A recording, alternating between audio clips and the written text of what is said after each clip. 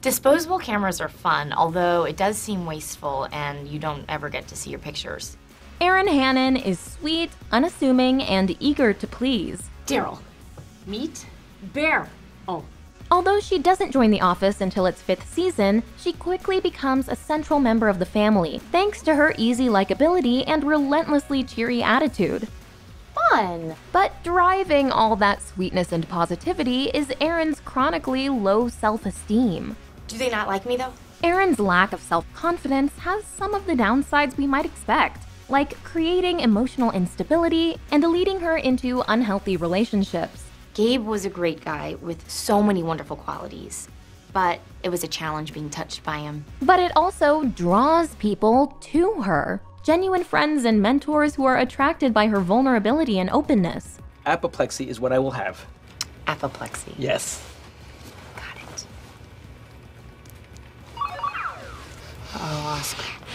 Here's our take on how Erin's story tells us something surprising about how embracing our weaknesses lets us harness them into strengths, and why Erin's low self esteem eventually takes her higher than she ever expected. Thank you.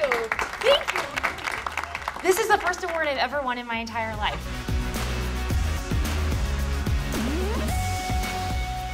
If you're new here, be sure to subscribe and hit the bell to be notified about all of our new videos. The Take is now on Snapchat. Scan our Snap code or search The Take on Snapchat to subscribe to our show and never miss an episode.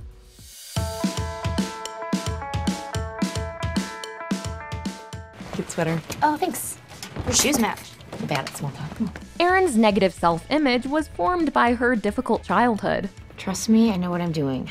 Between the foster homes and the orphanage, I had lice 22 times. Without a family to protect and nurture her, she became used to feeling alone and untethered. Growing up in an orphanage, you have to fight other kids for everything snacks, pillows, parents. Erin exhibits several of the negative signs of low self esteem identified by sociologist Morris Rosenberg, such as sensitivity to criticism. Erin is hurt by even the smallest of negative comments. How would you rate me as a receptionist on a scale of 1 to 3? Um, two? It's like the second to last thing I wanted to hear. She also suffers from social withdrawal, avoiding conflicts and fleeing difficult emotional situations. In the foster home, my hair was my room.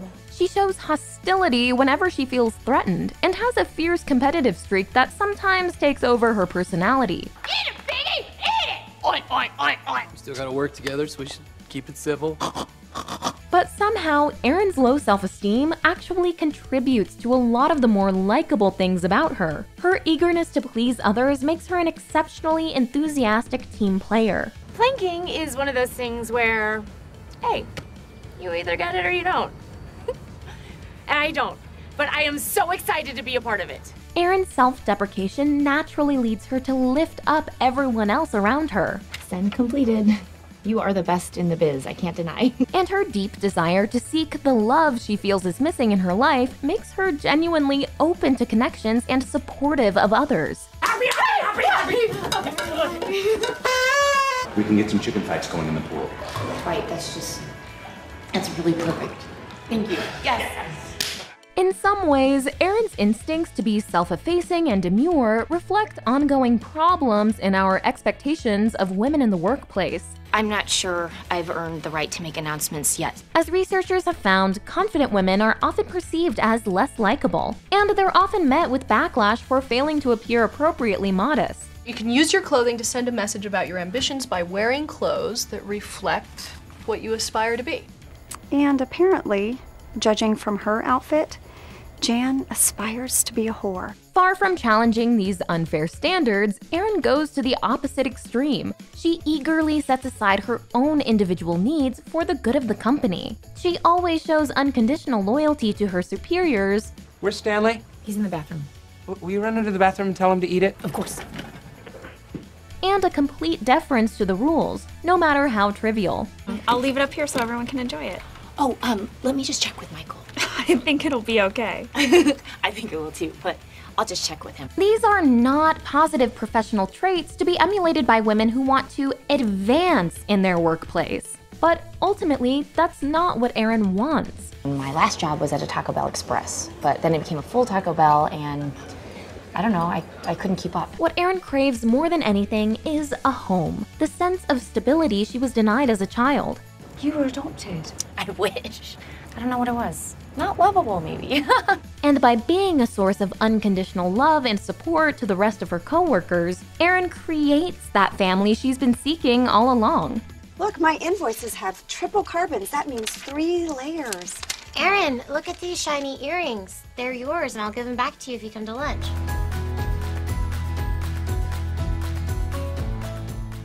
Gabe, just go and have fun with Erin, but not too much fun.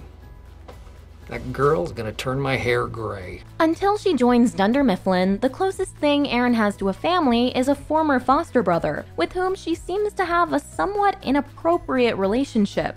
hey, my feet aren't smelly. They smell like roses. Smell it! The lack of any parental figure has trapped Erin in a sort of perpetual adolescence, unable to see herself as an adult or behave like one. I heard that you wanted to make the party more adult. This game is called Pecker Poker. Oh. It's the game of cards that gets you hard. But the silver lining of Erin's childish vulnerability is that it announces to people that she's in need of caring and genuine adult bonds. As life coach Dana Zarcone has pointed out, people with low self esteem often make others want to take care of them. Erin is more or less the baby of the office, and she naturally attracts surrogate mothers, including Phyllis, who briefly thinks Erin might even be the child she once gave away. If my daughter were asking me, Yes? Erin also gives Nellie the opportunity to explore the maternal side that makes Nellie want to adopt a child of her own. I wish I could just wave a magic wand and make you a parentless five year old again. I would snap you up. Taking care of Erin doesn't just benefit Erin, it allows her coworkers to discover new sides of themselves. And nowhere is this more apparent than in Erin's relationship with Michael. As a narcissist with a big personality, It is wonderful to be the center of attention. Michael initially finds Erin's meekness and low self esteem off putting. She's kind of a rube. But Erin's vulnerability allows Michael to finally play the father he's always seen himself as. You listen to me. You are not to tell me what to do. As long as you are living under this roof, you are going to do what I say. While this relationship is obviously good for Erin, it's arguably even better for Michael, fostering his own growth from a needy man child into a more capable, more generous mentor and friend. You don't need a mom because you have my number and you can call me anytime. Erin's low self esteem also leads directly to one of her most sisterly friendships. Kelly, yo, game on. On it. In Erin, Kelly finds a loyal sidekick, You look like J-Lo. someone who will pander to her constant need for attention and validation. When this blows up, I'll probably go solo like Beyonce did. You are so talented. Before Erin arrived, it was Kelly who was often treated as the child of the office. But Erin gives Kelly the chance to play the cool big sister, sometimes bossing Erin around, People are gonna flip out when they hear our new song and they hear our group's new name. Oh, did we come up with a new name? We did. Subtle sexuality. but also looking out for her. I just want you to know that I will be mean to Jessica if you want me to be. It's another relationship that proves mutually beneficial, giving both of them camaraderie and a greater sense of confidence. Cafe disco. More like crappy disco. You're bad. The idea of finding your work family is one that the office interprets almost literally. Daddy's here, and Daddy is gonna take care of you. Please don't refer to yourself as our daddy. It's also a concept that some employers can misuse or exaggerate to justify exploiting their workers. But research does confirm that having a familial relationship with coworkers boosts productivity and feelings of well being in the workplace. As the needy baby of the Dunder Mifflin family, Erin provides a necessary center to that family. Someone for the others to protect and nurture, bringing them all closer together and making them better people in the process. Look, it's, it's all right. Really it isn't your fault. With her new family looking out for her, Erin is eventually able to build on herself. You shouldn't rush into this at all. And you know why? Because you are beautiful, and you are fun, and you are smart. And when the right guy comes along, you'll know it.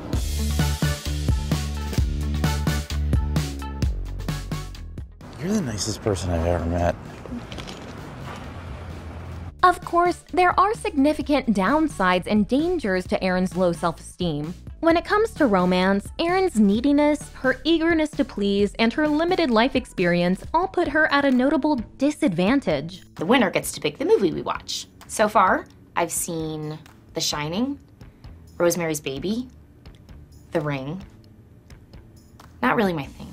Erin stays where she feels safe, which causes her to limit her options and rush into relationships with partners she's not totally sure about. Erin doesn't even like sex. Remember, you said it feels like getting tackled by a skeleton. According to NACAC Youth Engagement Coordinator Kayla Van Dyke, this is typical behavior for former foster children with a feeling of having been abandoned or the perceived absence of love and value from their biological family, who will typically manifest these insecurities in a fervent drive to be affirmed and find stability through romantic partnerships. Gabe takes advantage of Erin's vulnerability, using his power to manipulate her. Thank God he's my boss because I would not have said yes to a first date if I didn't have to. Throughout their relationship, Gabe steamrolls over Erin and completely ignores her wants. I know how much you want to watch WALL-E. Yes? So, I got us a compromise. This movie's called Hardware. And although Erin is unhappy with Gabe, even repulsed by him, Can you stop talking? Because every word out of your mouth is like the squawk of an ugly pelican. for a long time, her low self esteem causes her to keep her feelings to herself rather than confront him.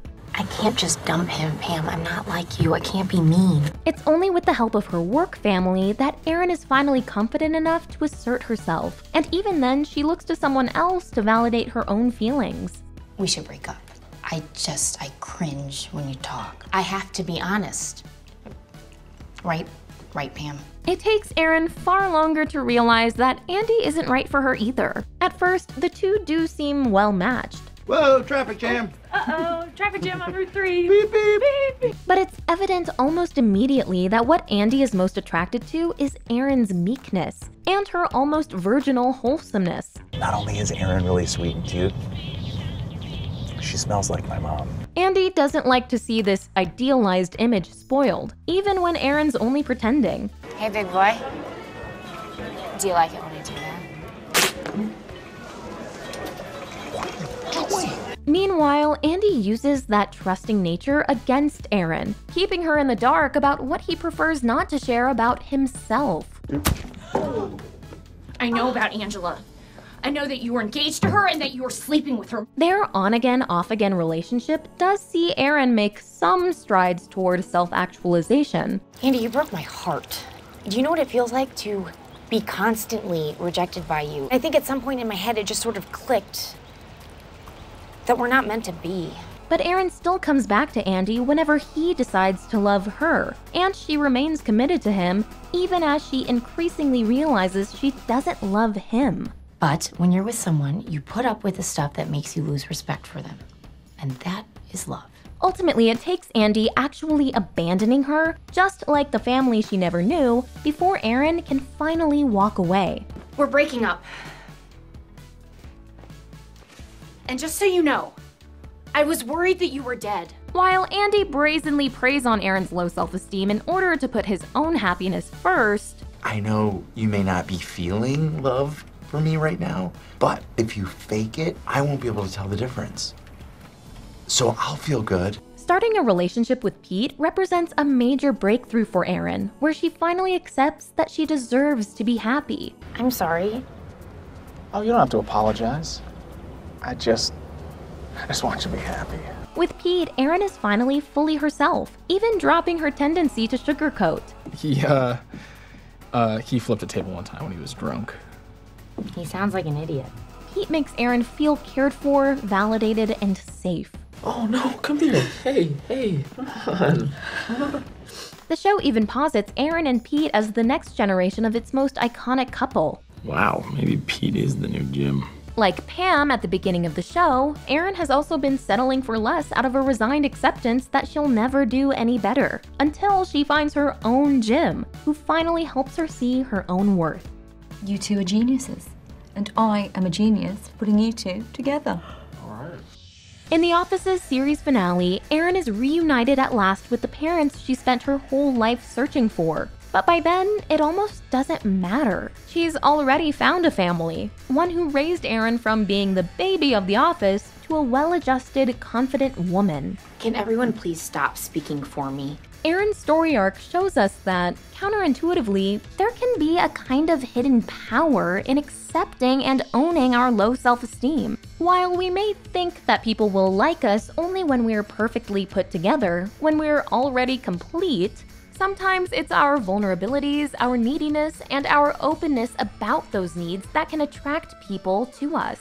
Making space for what we don't yet have in our lives allows us to form the kinds of deep bonds that will, eventually, empower us to become our very best selves. I'm still Andy's girlfriend. No. But you can leave your arm. Sometimes all you need is the right people to believe in you, until finally, you do too. How you like me now? I hope as a friend. This is The Take.